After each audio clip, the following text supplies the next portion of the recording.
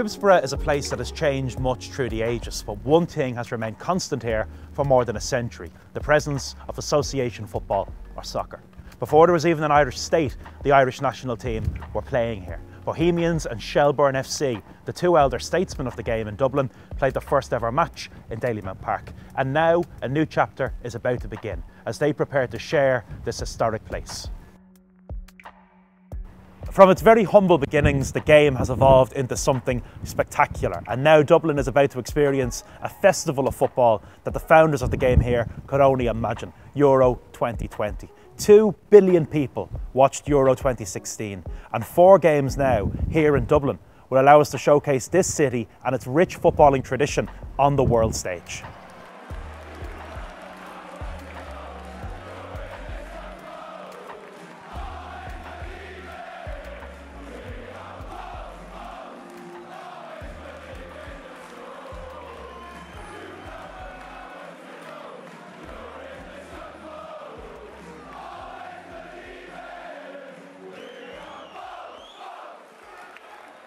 These days, things are eerily quiet around the laneways of Dalymount Park, and the famous Dalymount roar can't be heard. But despite that, there is an air of great excitement about this place. 2021 marks the centenary of the Football Association of Ireland, an organisation committed to the development of the game. And Dalymount Park, the spiritual home of Irish football, is going to change enormously in the near future. But at the beginning, it's important to get a sense of just where this place came from. The early days of this stadium are well captured in Tony Reid's official history of Bohemian Football Club. In it, Tony writes that the official opening ceremony of Dalymount Park took place on the 7th of September 1901, when the Lord Mayor of Dublin, Mr Tim Harrington, hoisted the red and black colours of the club. He then kicked off the start of an exhibition match which was played to celebrate the opening of the ground between Bohemians and Shelbourne. On St Stephen's Day 1901, the famous Glasgow Celtic played in Dalymount. In this fashion, Bohemians were able to let the Dublin public see for themselves some of the greatest players of association football. It was a move that gave soccer in the city its best ever boost. Dalymount was now truly the mecca of football in Southern Ireland. Down the years since that day in 1901, Bohemians and Ireland have brought the great clubs and great teams to Dalymount Park.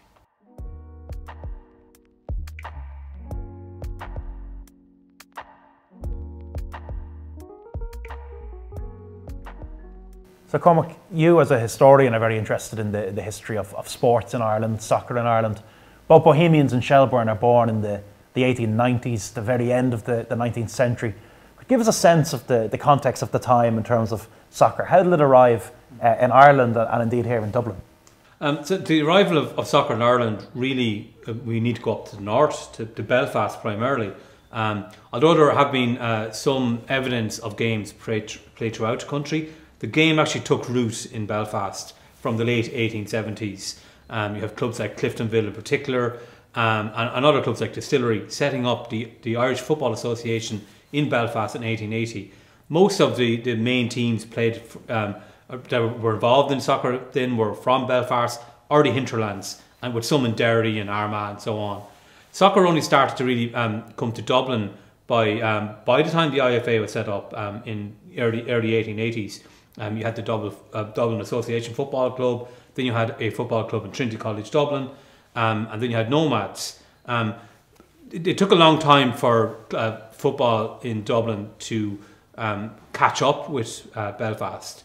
Um, and, and, it was really with the founding of clubs such as Bohemians in 1890 and Shelbourne in 1895 that there, there was this uh, um, great catching up which took place from 1900s onwards when Bohs and Shells started to win the most uh, blue ribbon trophy, the Irish Cup, uh, from that decade onwards. And it's kind of like a, a, gentleman's game, you might say. I know Cliftonville were also a, a cricket club, but there's a bit of that at Bohs uh, as well. Like, what, who are the who are the, the founding fathers, if you will, of soccer in, in Dublin? Yeah, and again, the, the football in Dublin, it, its foundations is very different than in the north. Where north has a very plebeian kind of working class feel to it, from all the migrants from Scotland and England working in shipyards, in, in, in linen industries, and so on. Whereas Dublin, it's, it's more um, from an educational institution point of view where soccer takes root. Um, people like uh, you know Clongowes College in Kildare, and you got Castleknock College here, and it's actually from Castleknock that a lot of uh, and players um, from Bohs come from. So, and that actually caused problems as well. It was actually seen as, in Dublin initially as a bit of an elitist concern. It was only from the 20th century that it, becomes more of a working class uh, sport in the city. Bohemians are just over a decade old, 11 years old. Uh, Shelbourne, six years old when, when this place is born, Dalymount Park, 1901. This is very much the, the jewel in the crown, is it, in, in, in the early years of soccer in Dublin? Yeah, so you had the two big grounds of football in Ireland were Windsor Park in Belfast and Dalymount Park in Dublin. And uh, although the um, there was very few um, Irish internationals played in Dublin, like only six um, up to 1921 when the Irish split, split happened, um, most of them were actually held in uh, in Dalymount Park. So it takes on a huge spiritual role. It's, it's the home of Bohemians, and it also then becomes the home of the FAI's Irish teams um, um, from 1920 onwards and plays host to a number of, of very significant and very famous internationals. The ground, as I suppose parts of it even today, still have the, the appearance of that kind of time, the, the yeah. very end of the Victorian age. Soccer was booming in, in these islands. It was very much the, the working man's game and, and the cheap tickets on the terrace. Yeah, look, look, and uh, it, it it was, not like people often say that you know why did uh, soccer take hold within one community or, or, the other? But it was always going to be popular with all communities. It is a truly international game and it really mushroomed in popularity after the first world war um, and became truly you know a, a, a, truly global international sport played by people of all different religions different uh, geographic backgrounds. But, but yeah obviously clearly more so within working class uh, environments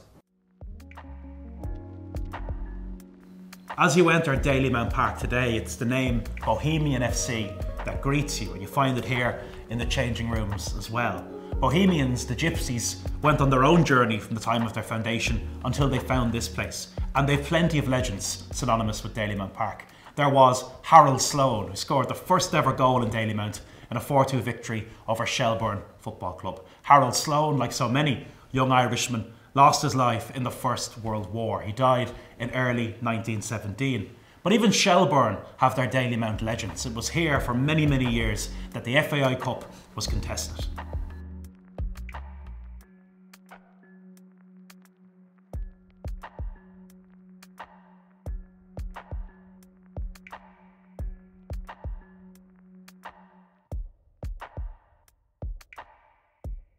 The future of this historic stadium lies with both Bohemian Football Club and Shelbourne Football Club.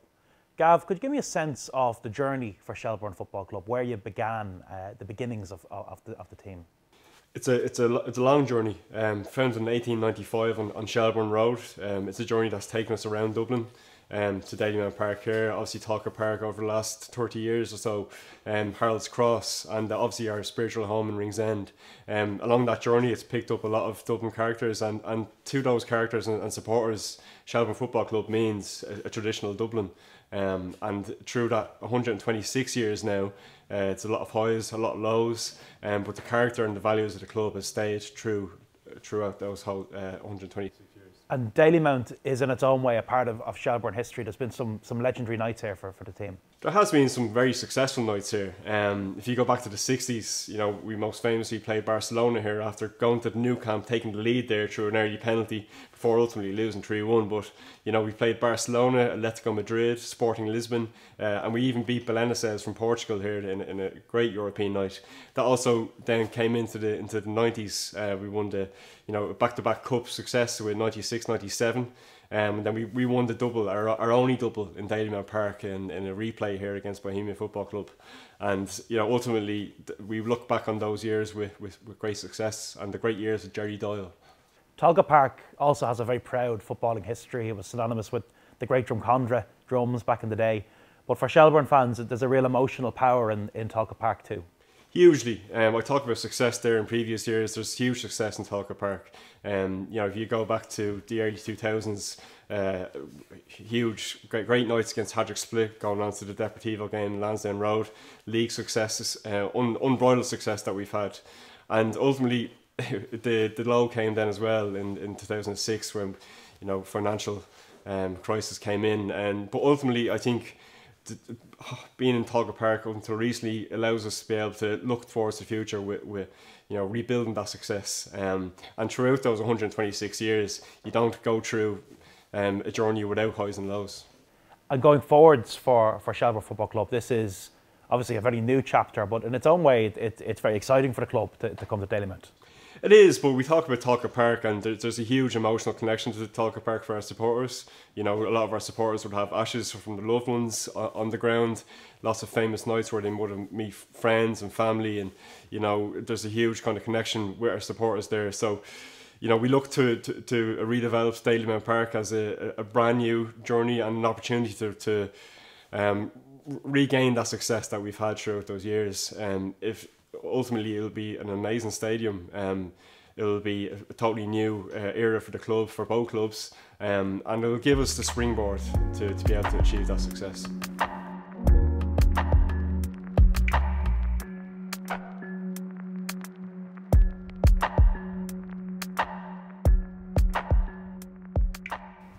So what did the Dalymount Park of the early days look like? Well, it looked absolutely nothing like this. Football stadiums in the late 19th and early 20th centuries were much humbler affairs. Think kind of small wooden stands. But everything was transformed by Archibald Leitch. From Scotland and a trained engineer, he is very much the architectural father of the modern football stadium in these islands. He began in 1899 with Ibrox, stadium of his boyhood heroes, Glasgow Rangers, but right across these islands, Glasgow, Birmingham, Manchester, and here in Dublin we find the vision Archibald Leitch. The iconic floodlights, well, they came later on in the 1960s, 1962 to be exact. A long-standing urban myth in the League of Ireland has it that they came from Arsenal's home in London. They didn't, like Archibald Leitch himself, they came from Scotland.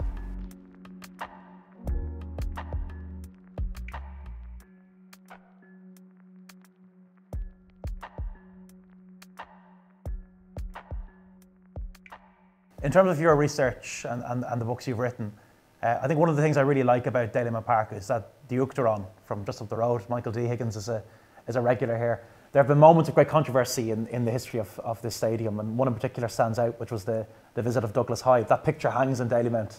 Uh, yeah. Today.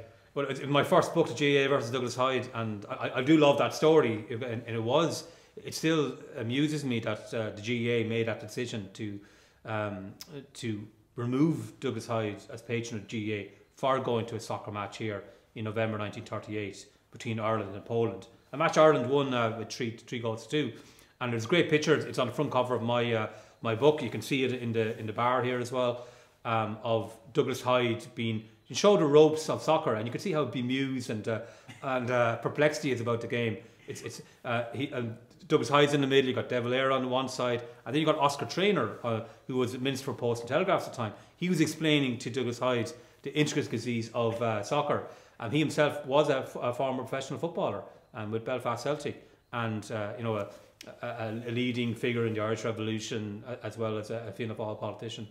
There are other matches, I suppose, through through history from this place that are, I suppose, that resonate. Uh, the Busby Babes played here against against Shamrock Rovers. Nazi Germany uh, the yeah, Soviet yeah. Union. Uh, any particular moments in the history of, of, of Park that you think make this place so special? Well, I, th- I, think the Nazi Germany one stands out as well in 1936 with the, with the salute and so on. Um, but obviously, then you had 1955, you had um, Ireland play Yugoslavia, and that, that caused some controversy.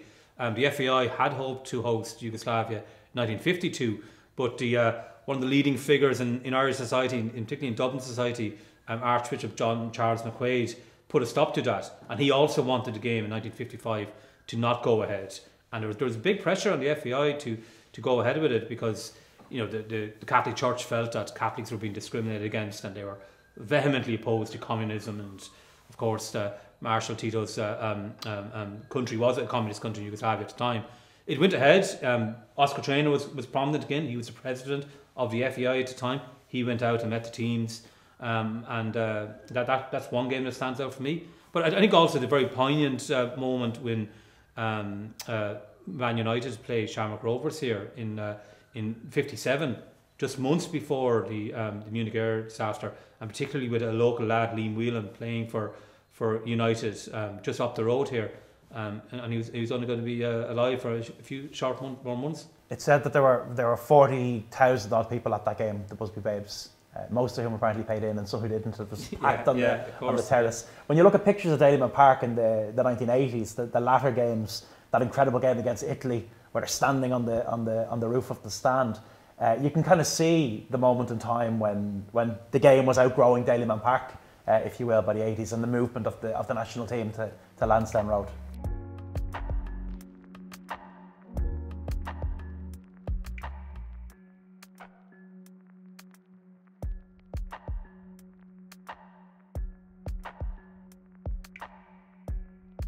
But the story of Dalymount Park isn't just the story of association football, it's also the story of youth culture and it's the story of music. Some of the most legendary concerts that happened on the pitch are commemorated with a series of murals in the ground. There was Thin Lizzy in 1977 on an incredible bill that included the Boomtown Rats and local punks, the Radiators from Space. The band were at the height of their meteoric rise just weeks before Bad Reputation, and the gig celebrated Phil Lynott's birthday.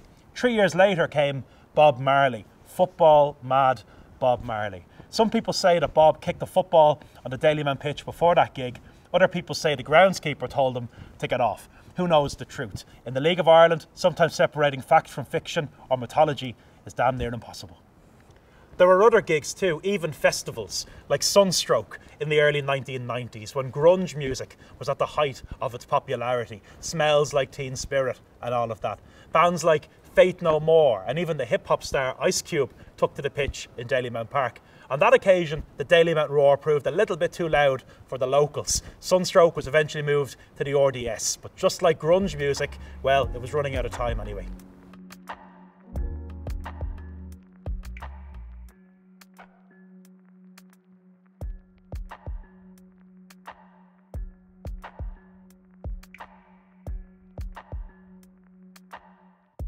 And amidst the vision of Archibald Leitch in the later floodlights of the 1960s, we have the brutalist Phibsborough Shopping Centre. In its own way, it's won the hearts of football fans too, but it's a reminder just how embedded Dalymount Park is within Phibsborough.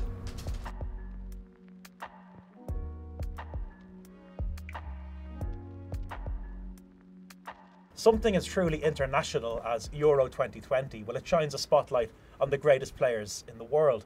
And some of the finest players in the history of soccer have graced the Dalymount Park pitch. Zinedine Zidane and Pelé both played here. I think for the locals, though, the name Jackie Jameson means more.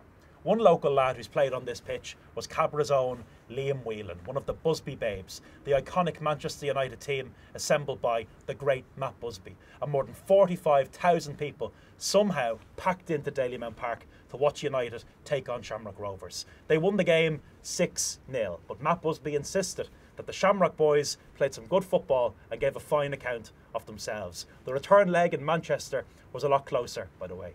Liam's journey began with Home Farm before he went and made the leap to the game at the top level in England. And it's a reminder that so many great football stories, well, they begin on that local level.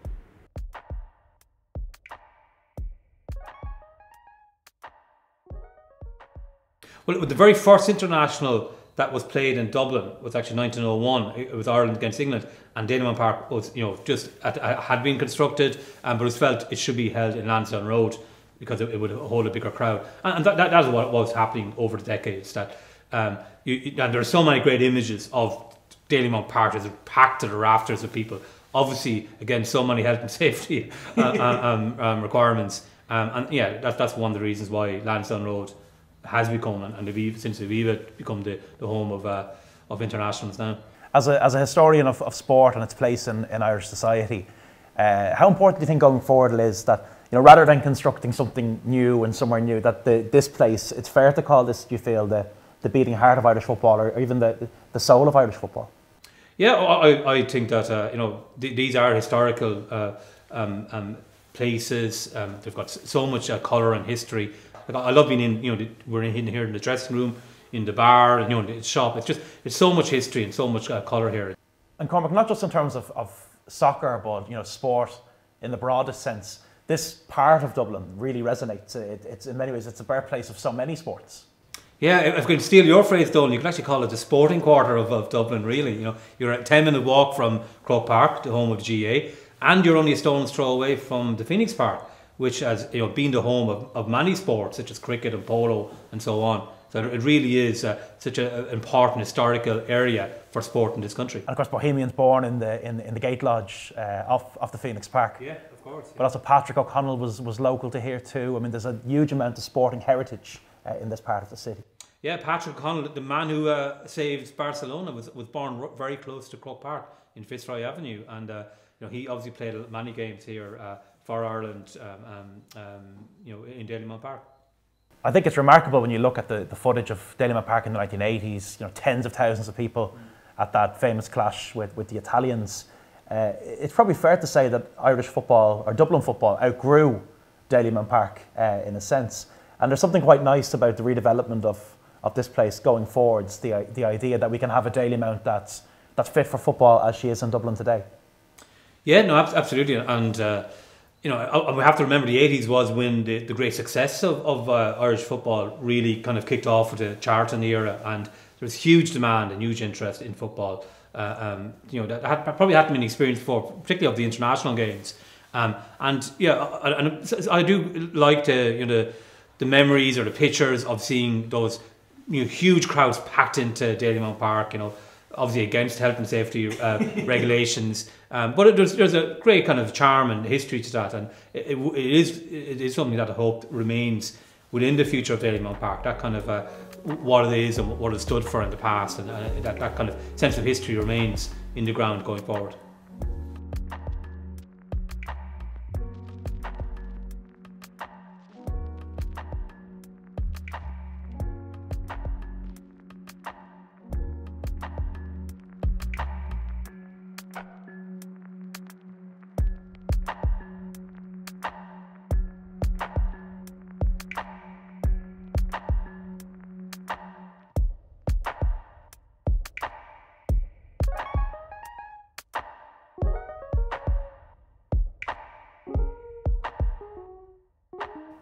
The story of the Irish national team is deeply connected to Dalymount Park. Indeed, right up to the Jack Charlton era, and even in its earliest days, the Irish national team were playing here. The first international in Dalymount happened in 1904, the very early days of the ground, and at a time when soccer in Ireland was very much dominated by Belfast. It showed the commitment of Dubliners to the game. There have been some incredibly memorable international clashes here. Nazi Germany, the Soviet Union, who fell victim to a Don Givens hat trick in 1974. And even into the 1980s, 40,000 of us came to watch the Italians play here. That day, Liam Brady, Inter Milan star, lined out for the boys in green. Jack Charlton, well, the last game of Charlton's team was a victory over Morocco in 1990. But some of the beloved stars of the Charlton era, including the great Paul McGrath, made their international debuts on the Dalymount Park pitch. In the collective memory of Ireland, what does Jack Charlton mean? Well, it means the elation of Italia 1990. I missed Italia 90. I was in Italy at the time, so said Con Houlihan. Then there was the great USA 94. He brought us to places we had never been before. But in the Charlton era story, Dalymount Park matters too. So, Daniel, we're going to be talking, I suppose, primarily about the future and how this community is changing the role of football in, in Phibsborough going forwards. But you are someone who has a real sense of the, the history uh, of this place. You look like an antique dealer in front of me here. This is a kind of selection of, of uh, Dalymount uh, ephemera. So could you talk us through, I suppose, the, the, the, the, broad story of, of the history of this place and how important that is?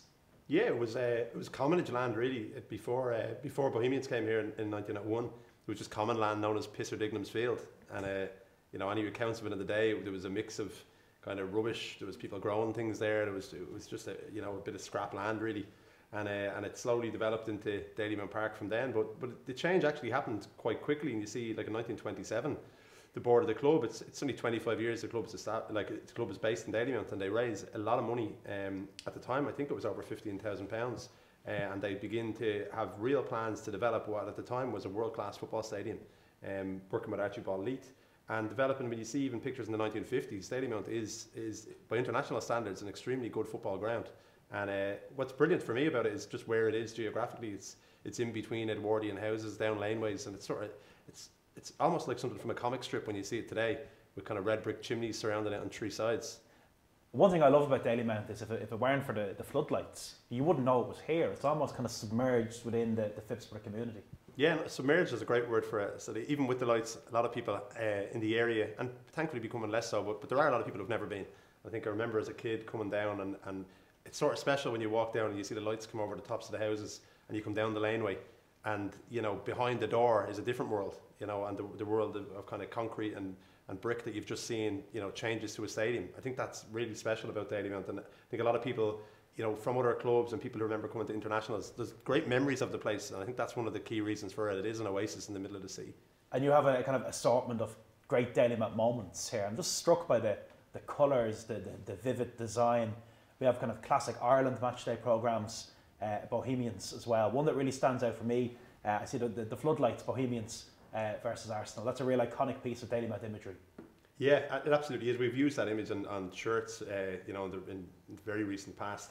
And I think the when the floodlights went up, it seemed to change for a lot of people what, what you know Daily Dalymount was on a match night. You'd move obviously to games in the evening, and I think for a lot of Bohs fans, they that's my best memories of coming to Daily Dalymount. They're actually on a cold night with the lights on, and that unfortunately that has been lost too with the move to summer football. There's less and less games where you need the lights for the duration of the game, and I think most people will, will have happy memories of going to a game with lights on for the whole evening. It, like you'd mentioned, kind of coming into to you know a, a theatre really when you've lights on, everything else disappears in the background in terms of Dalymount Park today, it's very clear that uh, this football club is now positioned within a community. And for you, uh, the, the Bohemians and, and Phibsborough, and Dalymount Park and Phibsborough, I should say, are just deeply intertwined now. A lot of work that has gone on to make that happen. With Bohemians being a members owned club for so long, this, the strength of the club has to come from the community and the people that support it. Without that, they are the investors, for want of a better term you know, and the more people that we have who feel an affinity to the club, the stronger the club is, and that allows it to compete on the pitch, but also to do good things off the pitch. So without the support of, of people in Dublin, in Dublin 7 in particular, and Dublin 1, um, you know, that weakens the base of the club. So it has to fit into the local area, and it has to be something that people have a sense of, of uh, respect for, pride in, and hopefully want to become involved with.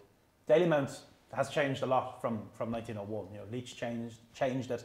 It's going to change again uh, looking at, at the, the, the, potential plans of where this place will go in the future. It's very exciting, not just for Bohemians, but in a broader sense for, for Shelbourne and for football in Dublin too.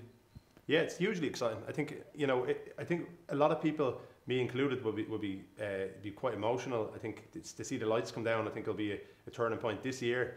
In 2021, we're going to see the removal of the of the Connacht Street side. You know, and that's been there for, for a very long time, 60, 70 years. So um, I think the new Daily Dalymount offers a lot. It offers the club a platform to grow into a new phase. But I think that certain there will be a certain sense of loss.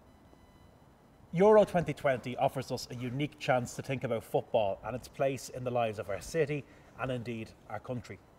The National Football Exhibition, which celebrated 60 years of the UEFA European Championship and Irish football, tapped into our deep sense of pride in the history and heritage of our game.